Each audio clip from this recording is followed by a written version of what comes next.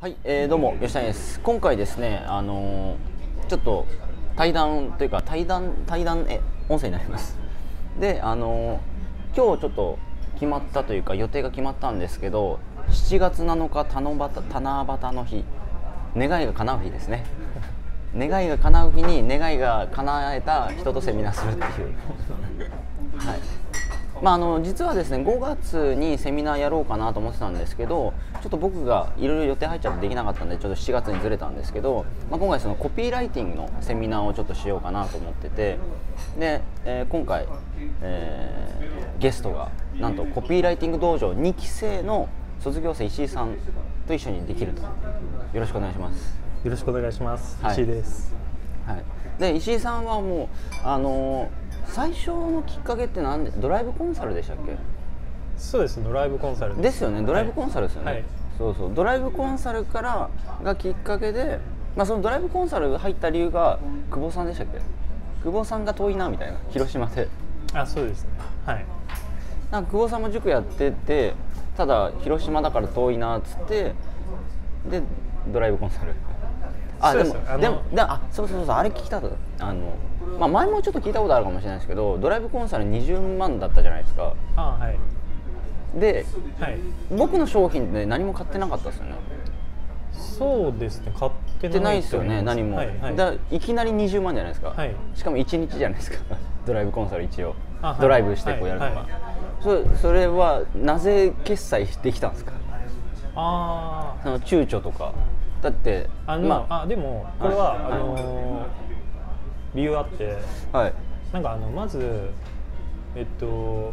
ネットビジネスにちょっと興味持ってたっていうはいはい事実があったっていうことと、はい、でそれはみんな持ってると思いますよそういやその時あってあったっていうことと、うんあともう会社辞めるってことを決めてて、はいはいでえっとまあ普通にネットのことではい。分かんないから、はい。まあ、学校入りたいなみたいな。はいはいはい。ではい。でなんかそのなんかいろんな、まあ、久保さんのやつとか見てて、はい。でまあ、久保さんの塾はい。入ろうかなみたいな、はい。でもなんか久保さんからだから吉谷さん知って、はい。で吉谷さんの見てたらそう東京だから、うん。あこっちの方がいいなみたいな。なんかあいやであもでもでもはい。強いて言ってもドライブコンサルじゃないですか。あでもなんかそのドライブコンサルで、えっと確かあその時特典ですね。そうあそうだそうかそうか。そうあ特典でなんかあそれもじゃあ特塾あはい。塾がなんか無料みたいな、はい。あはいはいはい。あやってましたね、うん。あだからマジでみたいな。あじゃあドライブも受けられるし塾も入れるしこれはみたいな。あそうですよだから塾に入あこの人がじゃ塾やるんだと思ってあはいはいはい。あじゃあもうやろうみたいな、はいはいで久保さんに実際に会ったことがあったんで、はなんか絶対大丈夫だろうなっていうか、はい。なんかあんまりその抵抗なかったですね。だから入るのがなんか普通っていうか、なんかまあなんか学ぶっていうかなんかこうなんかやるにはなんか学校入るみたいなのが僕、はい。普通だったんで、はい。はい、入ったみたいな。はいいやでもあの時ってそのまあその多分僕あの時やってたのがまだその塾やりますよって言ったけどあのまだ未定というか、はい。結構あれあれ多分やってから8ヶ月後ぐらいかな塾開校したの。結構あの時って塾開校する前に塾やりますよみたいな先にコミットメントして。分多分その年末だったんじゃないですか、はい。多分そうだったはい。でも僕今いまだに多分入って入れてないですけどねあでもあれですよね。メールであのちょっと落ち着いたらお願いします。だそうです。そうです。まあ、いつでも言ってもらえれば、まあ、今忙しいと思いますんで、はい。まあそんな感じで、まあ、そういういきさつがありまして、はい。でその後ですねあのなんだ？最初そのドライブコンサートの時にその YouTube やるっつって YouTube やってましたね。あそうですね。はいはい。でそのトレンド動画ですよね、はいまあ、そのドリームアカデミアにもとあのトレンド動画のやり方あるんですけどそのトレンド動画の方を教えてでやってたんですよね。はい。でやってて、はい。で確か一すぐ1万か2万でしたっけ？あそうですよね。はい。すぐ出ましたすぐ12万結果が出てはい。だけど何でしたっけ？なんかこれなんか面白くないなみたいなそうですね。やっててなんか、まあ、確かにうん。利益出るし、うん。はい。まあ、その数値は、はい。なんかちょっと増えたのは、はい。まあ、最初は面白いけど、はい。結局まあコピペしてるだけだし。結局なんかちょっとなんかイメージしてたのとはい。ちょっと違うみたいな、なるほど、まこれそあの、こんなんでお金もらっていいのかなみたいな、えーなんかもらっていいのかなもあるし、なんかこうなんかもっとこうなんかもこれこれでこれで僕マックあマックじゃない。僕あのスタバで、はい。その仕事したいみたいなのがあったんですよあ言ってましたね。スタバでマックを叩くみたいな。あそうマックマックを叩く。なんか あいつら何してるんだみたいなうん。やつらになりたいみたいなのがあって、はい。でこれちょっとなんかこコピペで なんかマコピペでちょっとスタバちょっと入れないなみたいな でなんかやっぱこうなんかもっとこうククリエイティブっていうかうん。なんかこう、うん、なんかその自分のなんかこう身身になるっうていうか、ん。血になるっていうか、ははい。なんかそういうのがなんか欲しいなと思ってて。いはい。でその時になんかそのちょうど吉谷さんがそのコピーライティング道場っはい。ていうのをなんか募集されてて、はい。で入ったっていう感じありがとうございますでもあれですよね。最初そのそのコピーライティング道場入ったきっかけってはい。うーんなんだ？コピーに興味があったんですか？それも全くなんか未知。あ全然なかったんですけど。全然ないですよね。ぜ全然なかったんですけど、はい。えっとなんかその YouTube あまあでも YouTube っていうかトレンド動画はい。やってて、はいあまあ、トレンド動画の前に僕自分で動画撮ってたり自撮り動画みたいなのもやってたんですよ。はいはいはいでちょっとクソつまんないやつばっか撮ってて、はい。でもなんかあそうですね。なんかなんか一日とニュースみたいな。そうそう。なんかやってましたね。でそれそれもやってたんですけど、はい。でなんかこう結局なんかそういうのもやっぱこうか考えるっていうか、うんあーなんかちゃんと企画しないといけないな、うん。だからなんかその企画する力とか、うん。なんかそのまあ台本みたいなあ感じそうですそうですそのストーリー的なこととか、うんなんか全然できそうになかったけど、うん。でもやっぱここをやらないといけないのかもなみたいな。まあ動画やってたけど動画撮る上でも台本とかあそうですね。ストーリーとかそうういうの必要だよねみたいな。あそうですね。だからその動画につなげるために、うんうん。なんか入ったのがきっかけかもしれないああなるほどはい。なるほど、はい。あ動画の自分が今現行でやってるものの台本にとかそういうストーリーにつなげるためにみたいな。そうですね。なるほどね。で実際にこう入ってみてまあそのあの1年間のカリキュラムだったじゃないですか。はいあのコピーライティング道場って、まあ、1年間のカリキュラムで、まあ、1か月に1個ずつこう課題出してみたいな、はい。で全くコピーやったことがない状態ではい。入って、はい。でどうでした？僕はまあ塾生さんじゃないんで、はい。あのまあ講義を提供して課題を添削する側なんでそのき塾生さんの気持ちって分かんないじゃないですか、ああそれはは実際に講義受けてみてどうでした？全くそのコピー勉強したことないじゃないですか。いはい。感想的には感想的には、はい。うーんまあ講義を聞いて、はい。あめちゃめちゃ分かったみたいなはい。ことはちょっと正直ないなかったんですけど。あ分かったああのいい意見ありがとうございます。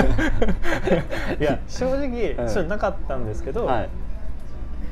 ただその自分でその講義を見て、はい。課題が1回1回あるんですけど、まあありますね。で課題やってはいで出して、はい。で添削もらう。そうですね。あれが大変なんですよ。そうですね。あれがめちゃくちゃ大変ですよ。でそれが、はい。まあ、めちゃくちゃいいいいっていうか、はい。あのだからその講義を見てもはい。別に大したことはない、大したことないって言ったら変ですけど、はい。なんか分かんないんですけど、はい。自分でやってみたから、はあそのもらえる添削動画が。フィードバックね。あそうフィードバックが、はい。あなるほどねみたいな感じで、あーそう気づかない部分とかが、まあ、分か分かって、うん。でもう一回その講義見直すとああなるほど。なんかあそういうことかみたいな。そうですね。あそうです。ねそのなんか腑に落ちるうんところもあるし、うんみたいな感じですかまあそうですよね。何も勉強してない状態で講義見ても腑に落ちないですよねいきなり。そうですね、うん。無理だと思います、はい。まあちょっとむ高度なんでね、はい。結構奥深いじゃないですか。そうですね。あそうですね。あと、まあ、やっぱり回数とかもあると思いますね、文章書く。ではい石井さん結構ね、あの課題提出結構してくれましたもんね最初の方。あそうですね。僕がなんか一番最初に思ってたのは、はいまあでもその最初の頃意識してたのは、はい。自分は多分めちゃくちゃ下手下手だし、はい。なんかコピーも書いたことないから、はい。まあ、とにとにとにかくあの早く提出しようと。ああなるほどなるほど。で早く提出してなんか早くそのあの何回もまあ自分でチャレンジできるようなはい。感じはい。にしようと思って。だからまあとりあえずそのこうかなああかなみたいなはのをなんかこうずっと考えて出さないんじゃなくて、はい。もう自分がもうバンってこう、まあで今今できる今今できることですね。今できることをやって、はい。やったらもうすぐ出そうと思ってうん。やってました。なんか早く出そうと思ってました。なるほどね。でそうそうそう。でコピーそうそう。確かその2期の講義の中でそのまあ外注化あの外注化じゃないそのランサーズとかでも仕事も取れるよみたいな、はい。稼げるよみたいな はい。話を確かして、でそれで石井さんが、はい。でやりますみたいな感じで、なんか始めたんですよねそうですね。そうですね。だからうん多分1回目の講義が終わって、2回目ぐらいかな、分かんないですけどまあとりあえずはい。はい、あのももらいましたよ。なんかそのダンサーズとか、はい。クラウドワークスに登録して、はい、だって道場コピーライティング道場の2期の中では石井さんが本当にず一番早く仕事もらってましたもんね。そうですね。でまあ報告もすぐもらいましたし。そうですね。あのーそうですね。だからなんかあーなんていうんですかね。なんかその自分ではい。なんか、あそのか吉田さんも多分その中で言ってたと思うんですけど、はい。なんか講義の中とかで言ってたと思うんですけど、はい。なんかこう別に課題提出しなくてもいいけど、はい。なんかその書かないと、はい。まああのうまくなんないみたいなこと言われてて。でそれは何度も言ってましたね。そう言言われてでて別にその課題を出したから稼げるわけじゃないじゃないですか。そうですね。でも、まあ、課題出す出さないにしても結局コピーなんで書かないと上達しないから,、だからそれをどうせ上達させるんだったらあコピーライティング道場で習ったことをアウトプットしてその仕事もらって、そこでお金もらいながらスキルアップした方がもうもうもうそれ効率いいんじゃね？みたいな。そうですね、うん。そうですよね。でそそういうことおっしゃられて、うん。でなんかあのーなんだっけそのフェフェイスブックとか、はいはい。あのーブログとかはい。持ってる人は、はい。まあ、そこでも書いていいしみたいなこと言われてたんですよ、はいはい。でまあさすがにでもやっぱなんか一番最初にあーそれも考えたんですよ。フェイスブックとかそブログ。のあ道場で習ったことを、みたいな。でもなんか自分その課題があれば、はい。なんか今だったら書けるけど、はい。なんか課題がなく自分で何か書けって言われても、うん、何書いていいんだろうみたいな、ああなるほどね。そう。でなんかこう自分ではもう本当なな何書いていいか分かんないし、はい。このままじゃなんか書けないみたいな、はい。でせせっかく入ったのに、はい。これあんま意味ないなみたいな、はい。だからなんか何とかして、はい。書く方法ないかな、はいはい。だからもう働くしかないみたいな。で、はい。ライターとして。そう。ででそのなんだっけクラウドワークスとかに登録して、で最初なんかそのまあ案件が低いやつとか、はい。えーじゃなくて僕結構高いやつをはい。なんか狙ってたんですけど、全然取れなくて。で でなんかそのえそこはそれはやっぱマネの惹かれるみたいな。そうそうそうですね。一案件そ案件いくらみたいなやつで、はでやってたけどなんか全然取れなくて最初、はでどうしようかなと思った時に、なんかその Google で、はい。まあ、あのライタースペース募集スペース初心者みたいな感じで調べてそのまんまみたいな。そう。でヒットしたところにはい。あの連絡して、はい。で募集してますよみたいな、はい。でそこになんか採用されてまあまあまあライターなんでしょスペース。ライタースペース。求求人だったかな？求人ライタースペース求人。初心者。初心者じゃないですよで初心者でも OK みたいなやつが何個か出てきて、皆さん検索しましょう。そうです。ねでライターあライタースペース求人スペース初心者。はい。でまあそこから、まあ、もらったって感じですか？そこがまあライターとしての初の仕事みたいな。そうそうですねでまあなんか実際もらって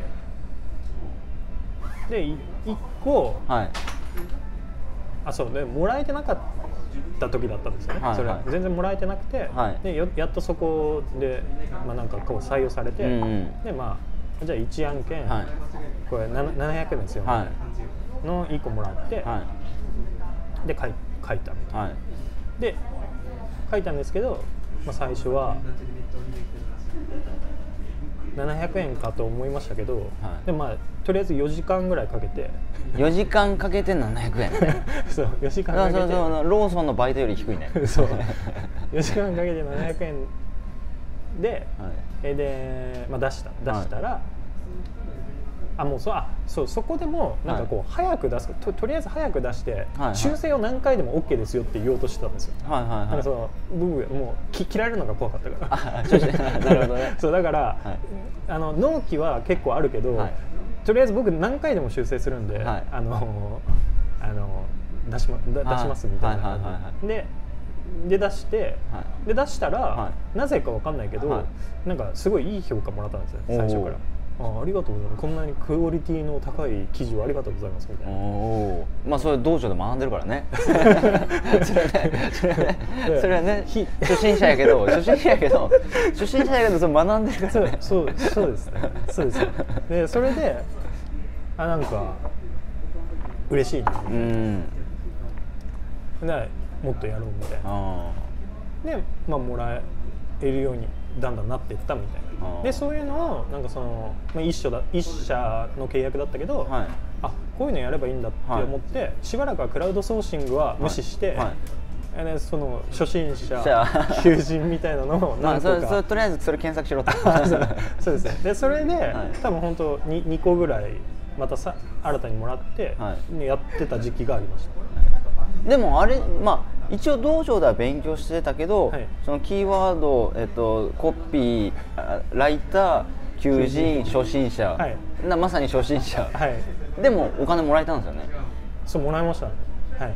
もらいました、まあ、再現性はこれは100%ですか？これはですね本当ねあのなんか下手なマジでネットこれネットビジネスで一番再現性が高い方法だと思う。んですいや僕もそう思いますよ、だってそのぶっちゃけでしょ？ぶっちゃけもうどうこれどう考えるかですけどもう考え方なんですよ。要はほとんどの人って例えばアフリエイトブログアフリエイトとかサイトアフリエイトとか、まあ、一緒ですけどメルマガアフリエイトとかそれでなんか集客して稼ごうとして教材買うじゃないですか、はい、いやだったらでもここって自分で結局書いてでもお金が入るのか入らないのかわからない状態で頑張って書くじゃないですか、フェイスブックもブログも全部メルマガも LINE アットも、こう稼げるのかわかんないけどとりあえず書いてるじゃないですか、でもなかなか収入にならないじゃないですか。でも書くっていう過程は変わらないから、だったらライターとして仕事をもらって金もらって、そこでスキルアップした方が、効率求めるんだったら絶対そっちの方がいいよくないみたいな、うん、絶対そうだってしかも絶対着金ある絶対着金あるじゃないですか。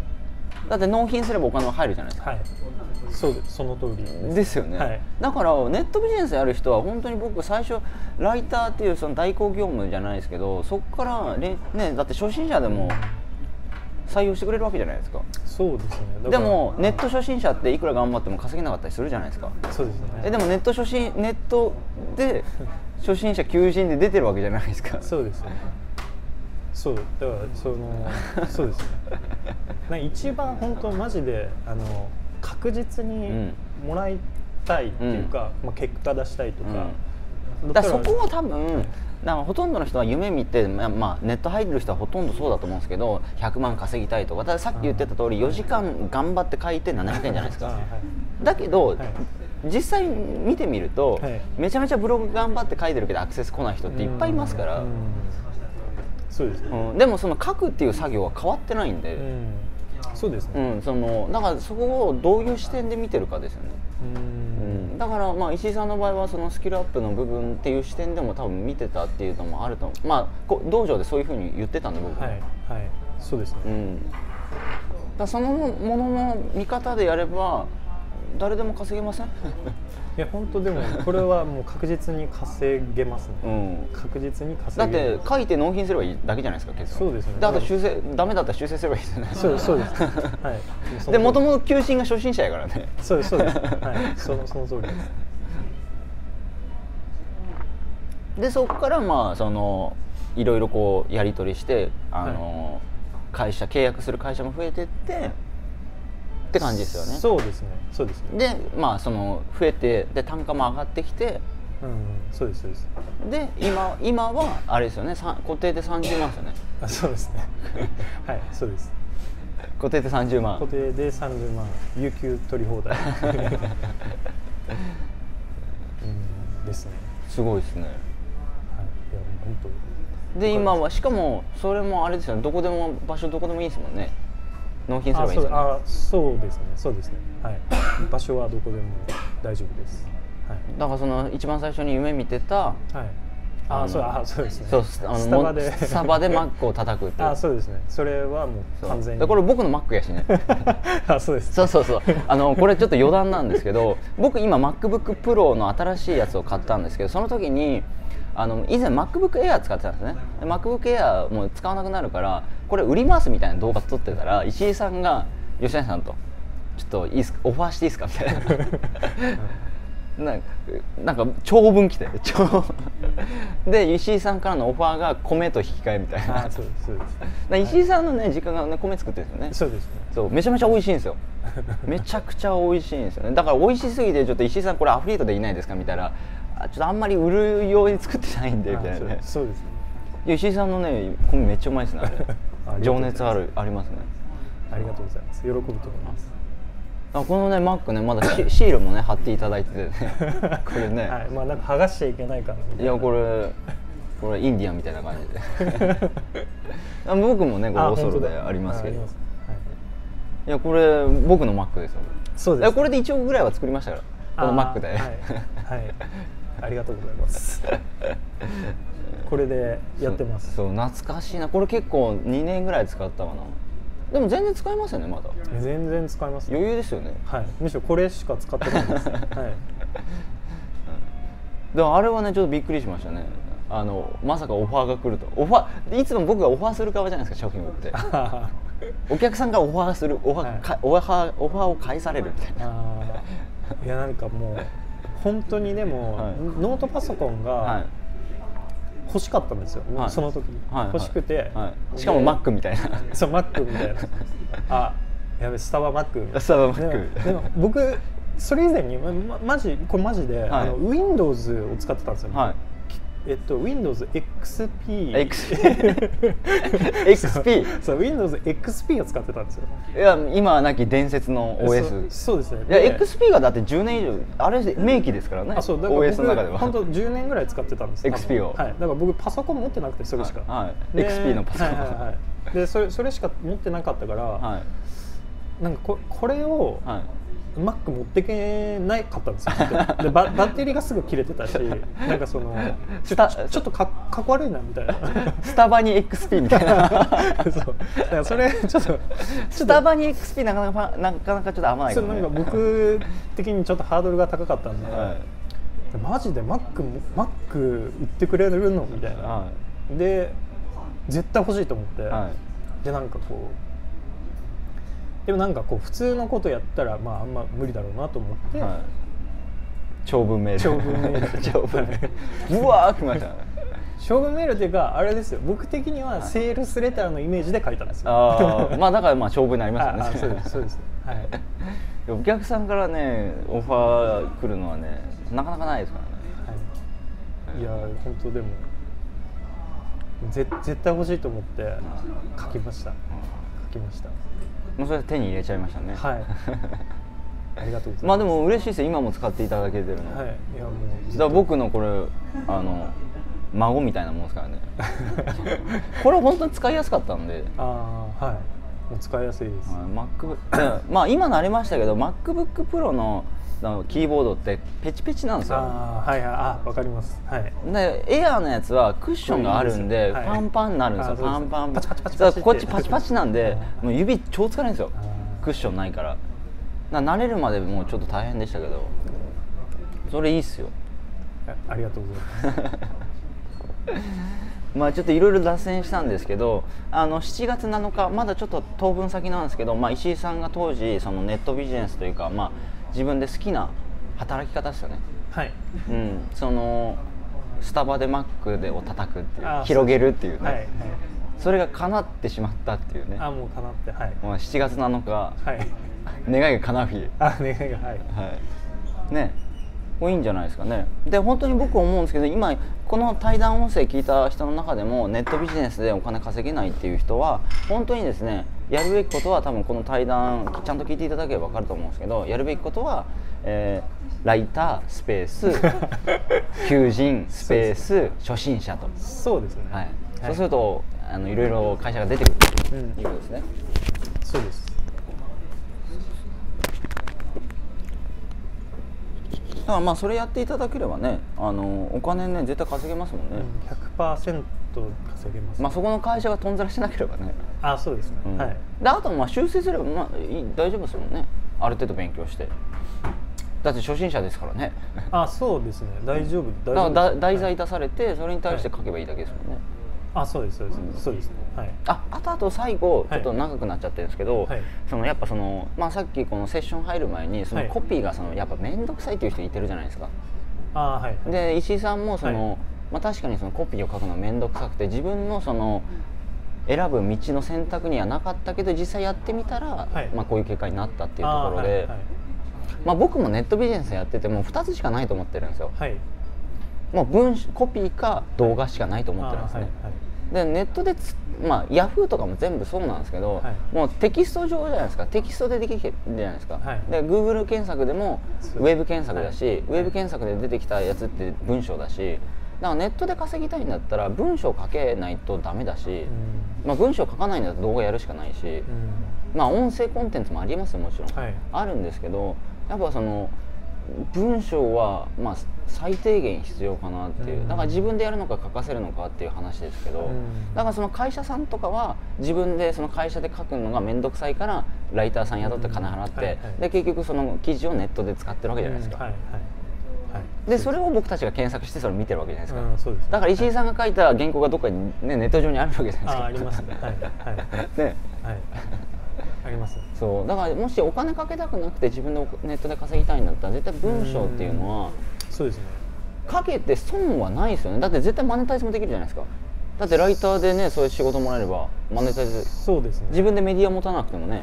はいはい。もうだから原価はゼロっていうか。そうそうそうそう、はい。なんかもう自分ではい出せるみたいな。そうしかもね場所選ばないじゃないですか。あそうですね。はい。ね別にファミレスで書いてもいいだろうしそうですね。スタバで書いてもいいだろうし、はい。家で書いてもいいだろうし、はい。そうですノートパソコン1台持って文章カチカチして納品すれば。そうですね。納品はメールですか？納品はメールもあるしチャットワークチャットワークもあるしし。まあいろいろですね。うん。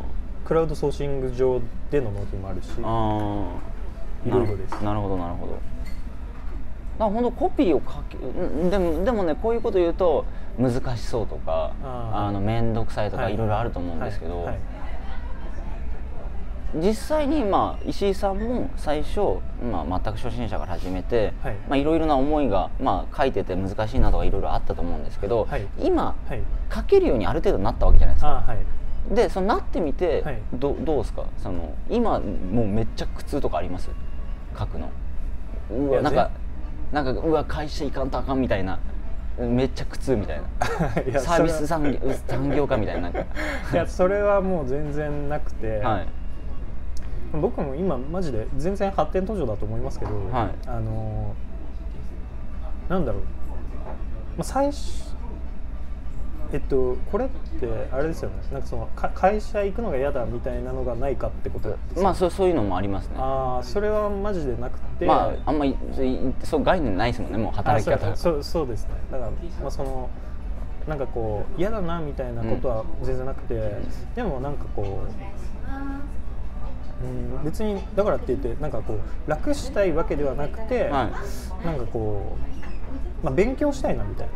だもっと勉強したいなって言ったらいいんですけどなんかこうもっと上手くなりたいとか、はい。もっとなんか違うことをやりたいなみたいなのがなんかだんだん見えてきた感じ。あでもねそこ大事でなんなんだろうな。多分まあこれ聞いてる方がちょっと分かるか分かんないですけど普通の人ってそのなんだろうな。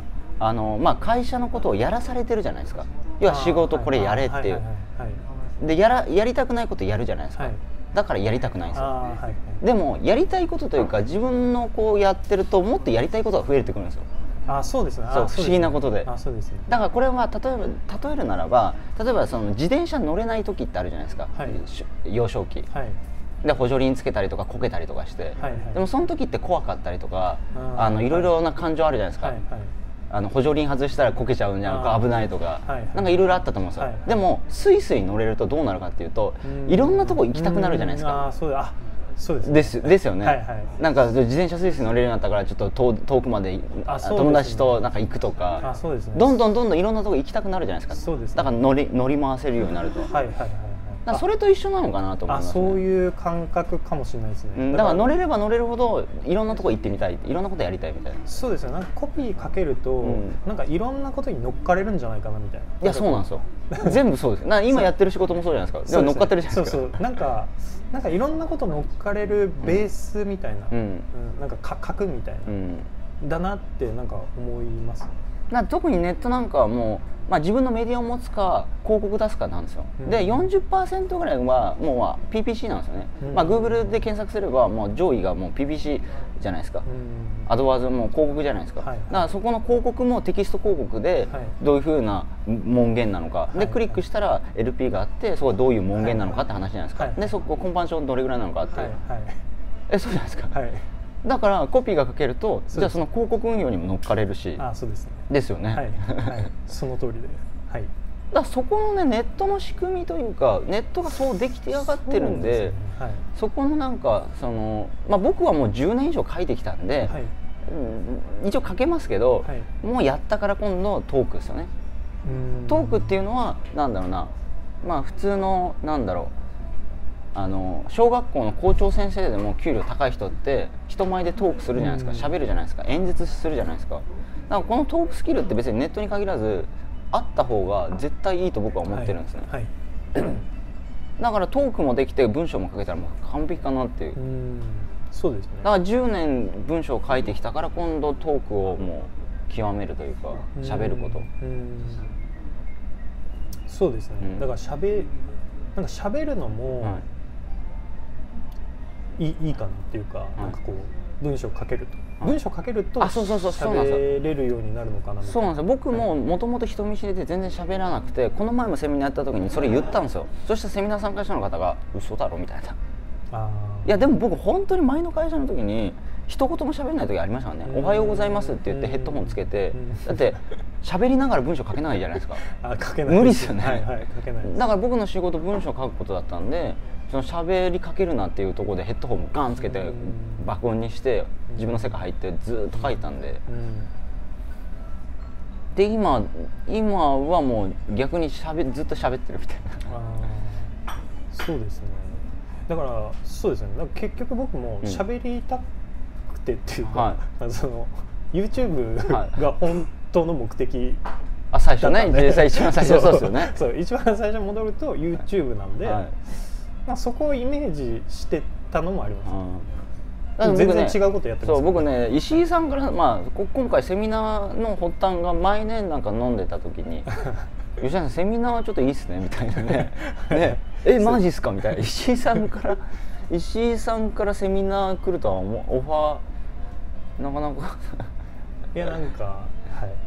ちょっとすいません。いやいやいやいいっすよ、まあいや僕嬉しかったんでああ本当ですかはいはい逆にえ僕は全然今ねあの表でこう喋るってことを仕事としてやってるんで、はい逆にいろんな人とセミナーしたいんでできるんだったらそうで逆に言うと石井ささんなんか本当に全く初心者の状態から、あのしかもコピーって自分の概念の中あんまなくて、はいはいでそこから自分の夢叶えて、はいライフスタイル築いて、はいでそれをやっぱ話してくれるってやっぱ僕はもう経験13年ぐらいやっぱあるんで、はい。ネットビジネスに関しては、はい。でもその直近のはい。12年で人生変わった人がやっぱ伝える、はい。しかもリアルですよね。はい。ね、なんだ何百万とかじゃなくて本当あに今30万とはい。プラスアルファもうちょっとあるのかな、ですよね、はい。他の仕事も。ね。今一社契約で30万プラス他の会社ちょこ、ちょこやって、まあはい。もらってるんで、そうですね。まあだからそのリアルな数字ですよね。そうですね。もうかなりリアルな数字だと思いますし、うん。なんかこれなんかちょっとな生意気な言い方ですけど、はい。ちょっとなんかこのこういうのってあんまりないじゃないかなみたいな。吉谷さんのはなんかその、はい。な何百万みたいな、はいはい。そういうそういうのじゃなくて、なんかもう超現実的なはい。話みたいな、いやだからそれがやっぱ聞きたい人いるんですよ絶対。てかだってそういうその夢物語に騙されてる人いっぱいいますから、うん、ちゃんとそのリアルなその話。だから僕も本物伝えていきたいんで。はい、だからなんかこうそうそういう視点からうん。なんかリアルにうんなんか伝えれることもあるかなって、ん。なんかこうちょっとはい。だからまあ本当に石井さんからしか伝わらないことで、僕がいくらね、はい。声ピーピーや言っても伝わらない人いてるんですけど、はい。まあ、石井さんの言葉から伝えていただけるとより現実的などういうふうに、本当に現実的に自分の生き方人生っていうのが現実的にどう変わっていったのかっていうそのプロセスだったり、うん。何をやればお金が稼げるのかっていう、うん。しかもこの何をやればお金を稼げるに関しても100%稼げるやり方じゃないですか、はいはい、ね、だからこの音声聞いてる人も 別にねやることはうん、やることは えー、とライター求人初初心者。まずここからですよね。そうですねここから。でお金もらえますからね、はいもう4時間で700円ですよ。そうです。ねそうです。4時間で700円だけど。そうですね。はい。うん。でもまあ稼げるじゃないですか。だからそこをどう捉えるかですよね。自分のスキルアップでやってるのかたった700円かと思うのかで、うんいやでも本当そうですね、うん。だからスキルは本当なんか多分ブログストックするのより自分のスキルストックした方がなんかいい感じします、今名言出ましたね。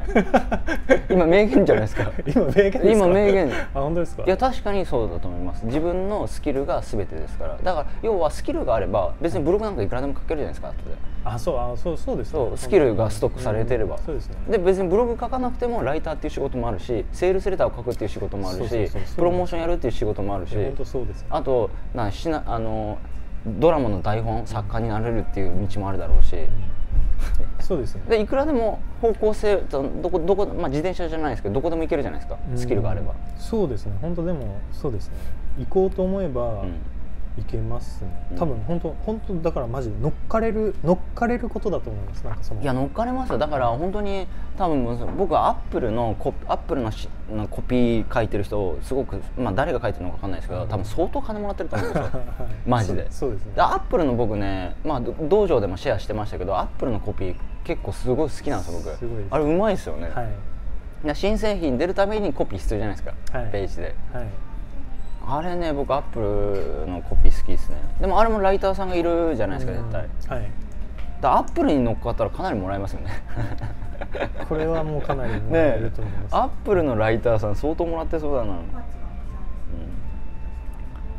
はい。まあそんな感じで一応7月7日、まあ、夢をか、まあ、セミナー名はちょっと仮なんですけど夢を叶える七夕の時にですね夢を叶えた男が語るセミナー、はい。はい、夢を叶えてみてどうですか今のマック広げてまあでも。スタバでやって カチカチやって。いやでもまあまたなんかこう違う夢っていうか、ほう。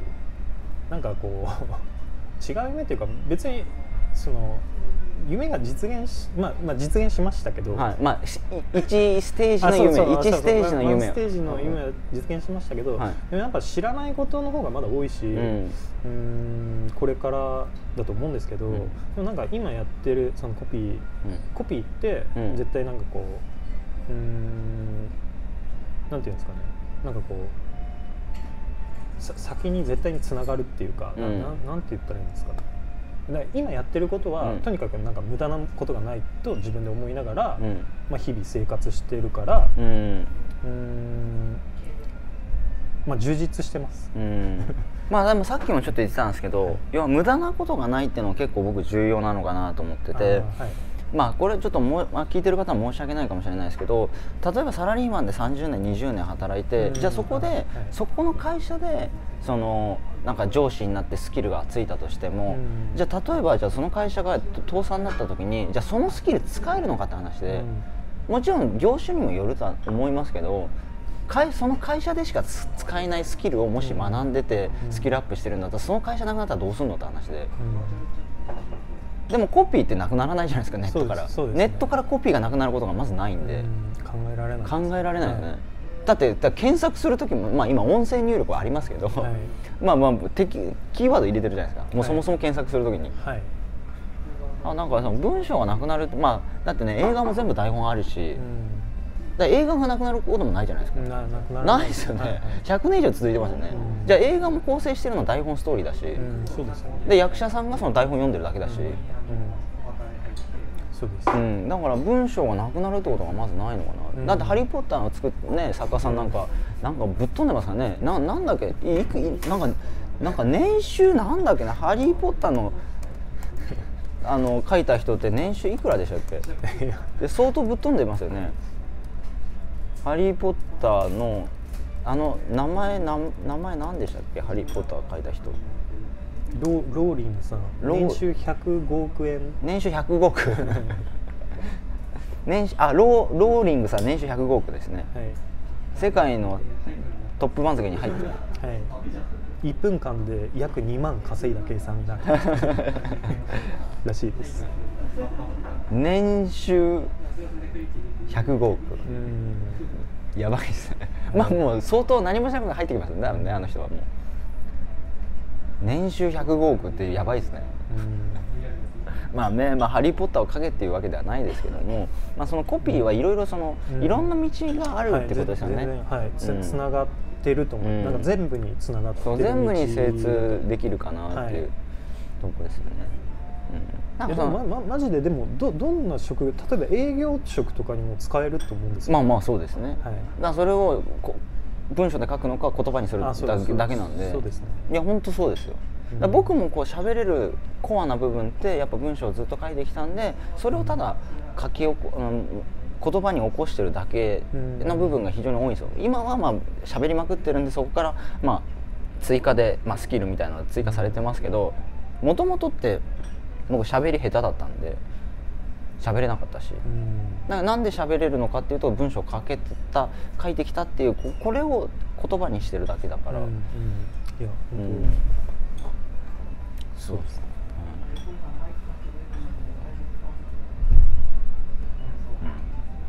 まあそんな感じですね。はいちょっとすごく熱くな語っちゃいましたけど7月7日七夕の日にですね夢を叶えた男が特別ゲストをさせて、はい。まあぜひですね、まあ、まだまだ先の話なんですけれどもあのネットでお金稼ぎたいっていう人は一回そのあの石井さん一応セミナーは顔出しはもちろんセミナーなんであの仮面を仮面はかぶります？いや仮面はまあ被らない。仮面はかぶらないみたいなので、はい。あのまあ、セミナーに来ると石井さんにお会いできます。でそれ以外だとちょっと顔出しはちょっとできないんでリアルで来ていただいた方はお会いできますという感じですね。はい。はいではですね今回は石井さん、えーコピーライティング道場2期生の卒業生である石井さんと対談させていただきました。ありがとうございます。ありがとうございます。